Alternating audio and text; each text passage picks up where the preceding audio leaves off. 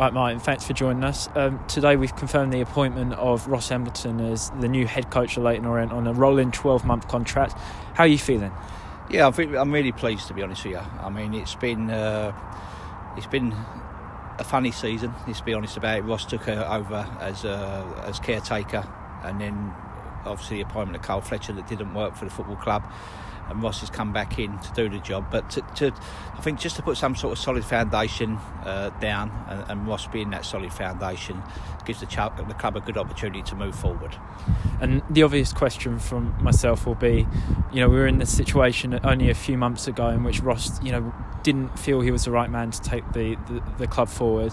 What's what's changed, and why do you and the, and, and Ross feel that he's the right man now? Yeah, I mean ross Ross's Ross's uh, own opinion is that he feels ready now. Uh, he, he, I think the fact, I think he'll tell you himself that that that, that uh, the you know with Justin passing and then, and then sort of after taking over the reins, he didn't, you know, he felt that it, it was it was awkward for him. You know, he, he felt sometimes he, you know, he was doing things that maybe Justin used to do, and he can't be that. He has to be his own man. And I think the fact that with Carl coming in has given him the time to think and, and, and start, start to do it the way that he has to do it and the way that, that Ross Embleton does it, not, not like how Justin did it and, and, and expect the players to uh, or do the same so the players get the same. So I think he, in his own way, he's he, he's started to realise he does it his way, and, and, and that and that can be a successful way.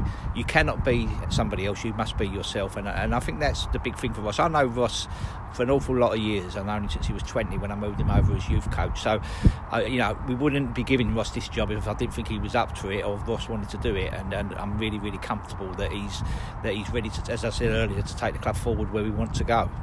And it's been, you know, over a month now since uh, Carl Fletcher left the club and Ross took over as interim head coach for the second time. Uh, why the delay?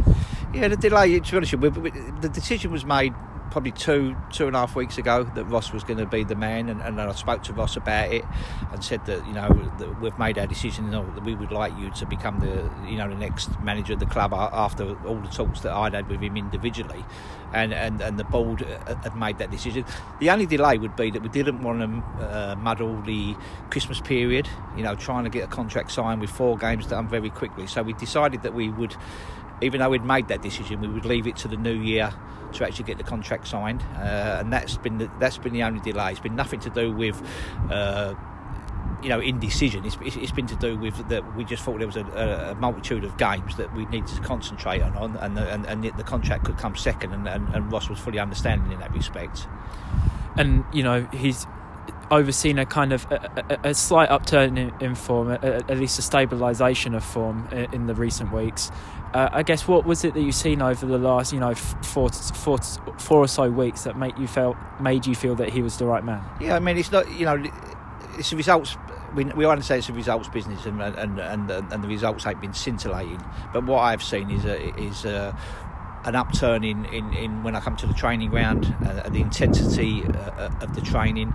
You know, I've spoke to some senior players, uh, you know, in terms of their their thoughts about Ross as a as a manager, and, and, everybody I spoke to was very positive. But and also in managing his staff and, and, and starting to act like a manager. I think the first time around he could he, he, he could act as a caretaker and, and, and, and didn't quite know where where to, to take things because when you when you ain't actually the manager long term. He was always thinking in the back of his head, I've got to go back to being number two. So he couldn't then put his own authority on it. I've seen him put his own, authority on the situation over the last four to five weeks. Uh, and that authority, you know, it, has been something that I knew was within him. I think he knew it was within himself, and, and it's come out to the fore over the last few weeks, and that's the big thing with him. It's about him being the manager, him being the number one man, and him leading leading the both the players and staff. And what I've seen over the last four or five weeks, I'm very confident that he, that he will do that. And what would you consider his strengths? His strength, his strengths are his coaching is is first class. You know, he's coaching. Uh, uh, he's been coaching since he was 16 So I think that's 22 years of coaching. So we ain't got no way he's coaching. His man management is is excellent. When he you know he talks to players individually when he leaves them out, uh, he explains why he's doing it. And I, the, one of the big things for me is making big decisions, leaving players out. That you know, someone like let's say just like Josh Coulson, for instance. You know, leaving Josh out, who was your captain last year, and and and, he, and he's done it. He's done it. You know, he's done it with. Uh, integrity. You know, he's done it by talking to the players and, and, and getting the players to understand. And he's done it without, you know, wavering from it. I think he's made some big decisions and, and, and, some big choices over the last four or five weeks, and I think he's handled it very well. And that's the big part of, of managing is that you've got to be able to make them big decisions. You've got to be able to take the pressure of, of, of winning games of football. And every, as I say, everything I've seen over the last well, all season really. I see it at the start, but he's, certainly come to the fore a lot more since he, since he, since after the Carl, since Carl Fletcher left us. There's been a, a lot more of Ross being the leader, being the one, and being able to lead his group forward. And I think that's the thing that's really convinced me that he's that he is the right person for this job.